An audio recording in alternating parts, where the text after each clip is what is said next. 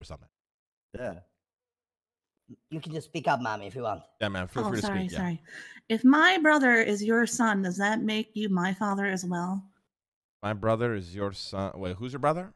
Dewey. Would you vote for me? Sure. That was your dad? Yes, then yes, Yeah. of course. Oh hell yeah, Daddy. Yeah, there you go. Does that mean you'll stop calling me mom? No. Lang Buddha is